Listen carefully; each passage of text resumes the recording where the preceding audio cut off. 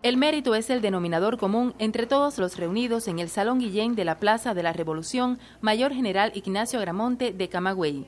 En el cumpleaños de la villa y por acuerdo de la Asamblea Municipal del Poder Popular, expresidentes de este órgano de gobierno, personalidades e instituciones recibieron la distinción Aniversario 500. Glorias del deporte cubano, médicos, artistas, combatientes, periodistas, trabajadores del campo y cederistas motivaron el reconocimiento. Insertado en la celebración de la Semana de la Cultura Principeña, la Universidad del Deporte Agramontino y el colectivo de la Plaza de la Revolución igual merecieron el lauro.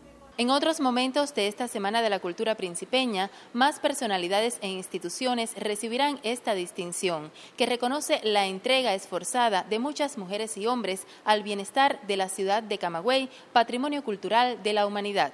En Camagüey, María del Carmen Fuentes, Sistema Informativo de la Televisión Cubana.